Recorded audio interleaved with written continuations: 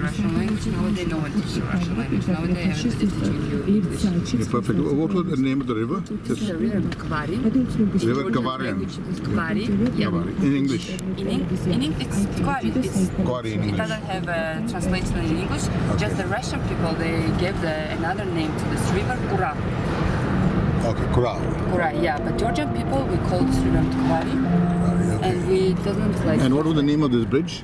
Is the Peace Bridge. Peace Bridge. Yeah. Peace Glass Bridge. Does it relate to the English word peace? Yeah. All right.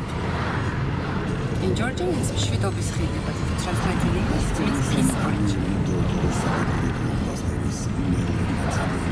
So this is old now, town, right? Yeah, but we are now passing the old city. And we're going more to the Mudra city now. Right. The our this is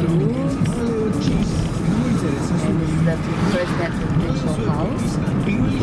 No, Oh, the uh, the- the- side, oh, that- yeah, that one, okay. Georgian flag on the top, the president's residential house. On the left side, it was a casino. Biggest casino. Now we will pass the Ministry of Justice